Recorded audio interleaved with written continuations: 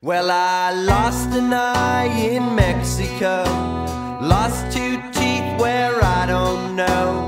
People see me coming and they move to the other side of the road.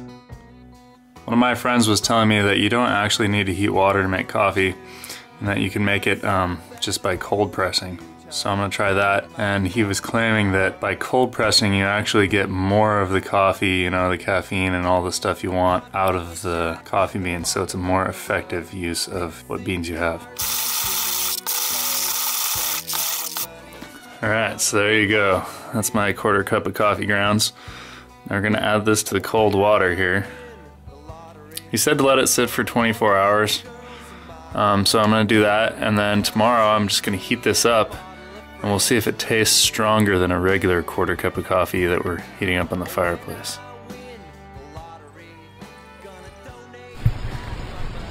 Um, yeah, that's not going to be acceptable. Uh, I think I'm going to put this back in here and let it sit for a couple more days and see if it gets any stronger. It's now been five days. Let's see if my coffee is ready. Much better. That looks like pretty much a normal cup of coffee. So let's heat that up and uh, we'll have the taste test.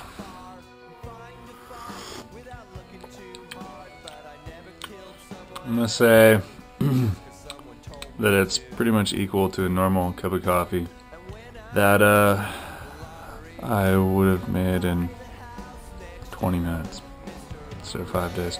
But if you didn't have a fire, then maybe this is a good way to do it. Or maybe if you ground it really, really fine, um, it would take a day. Maybe not as fascinating as I thought it would be originally, but uh, an interesting experiment.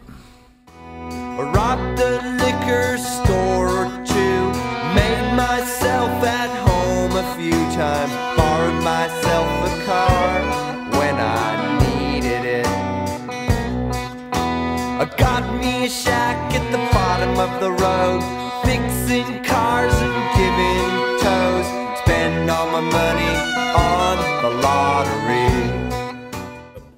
Uh, it's after midnight, and I spent the entire day puking, and I don't even want to tell you what was happening. Besides that, um, I was really sick, nauseous, and bedridden, and now I have a dilemma, which is, do I eat the other half of my lingcod? which maybe made me sick in the first place. So my strategy with this is I'm going to strip the meat off this, then I'm going to throw this half of fish with the other half, turn it into broth, and then throw the meat in there and boil it real good before I eat it. That sucked. If it got, you know, I could see that putting an end to things because I'd just be friggin' over it. It's really a problem not being able to refrigerate your food.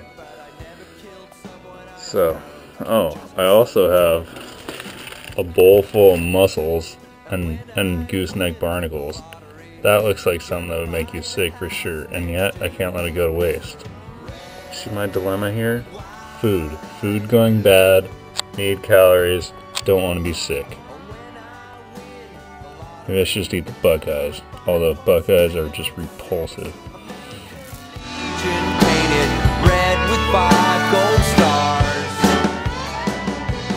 I just woke up to a very marvelous sight that you only see once in a while in Big Sur. That is snow.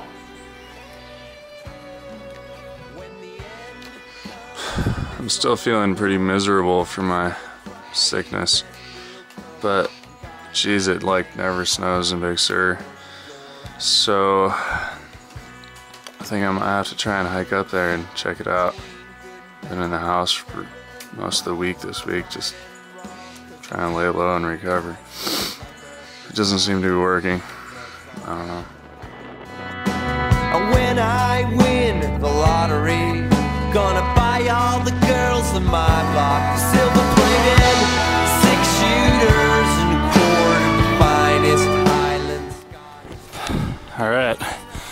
I'm about to summit the peak. Uh, that's about 2,500 feet of elevation from the, my house. Let's see what the backcountry looks like. Lost an eye in Mexico. Lost two teeth where I don't know. People see me coming and they move to the other side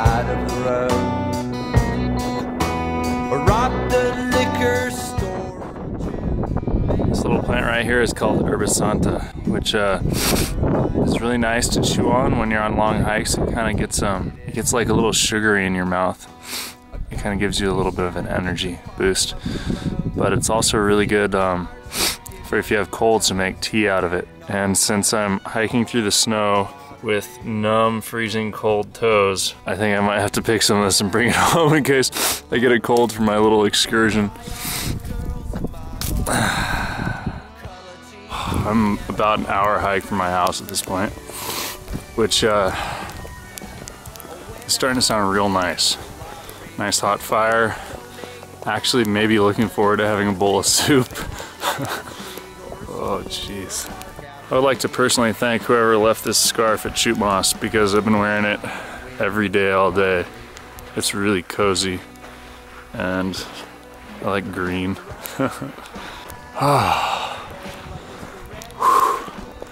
All right, I got to the top of one hill. now I gotta get up there. Now I gotta get home. I've reached a low enough elevation now that the snow has stopped. I'm just getting pelted by hail, which uh, I gotta say, I much prefer to rain, but the hail is, it kind of stings when it hits you. lottery. Gonna buy the house next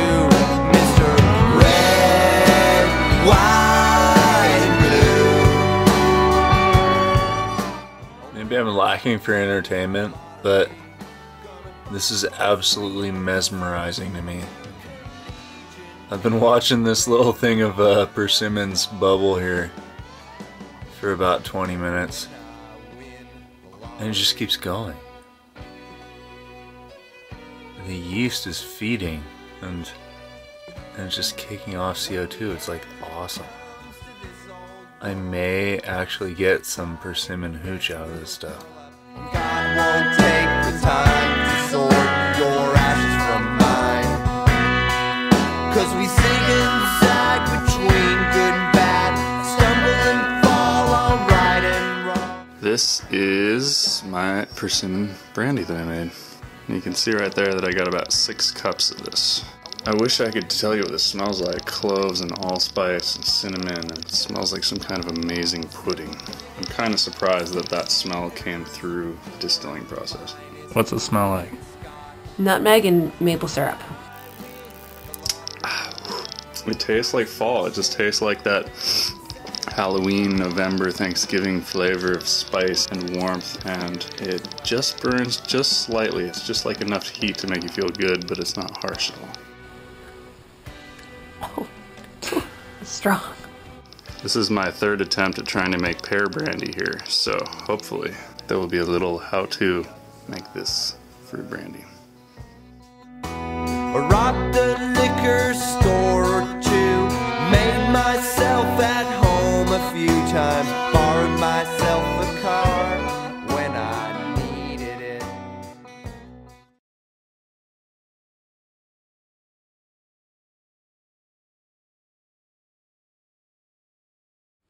There you are, Herba Santa. It says here the leaf tea or extract is said to be especially useful in drying up the excessive watery mucus secretions that are associated with bronchial inflammations.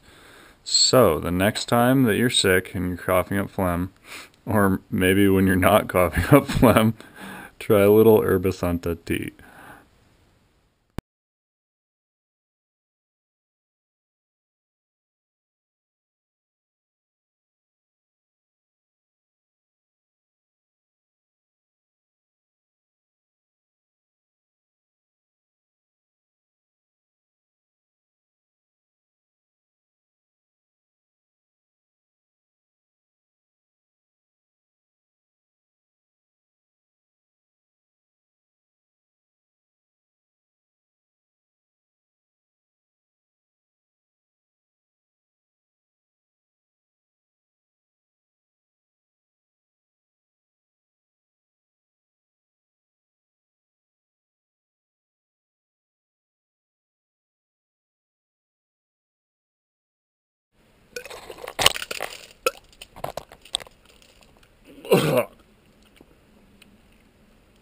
All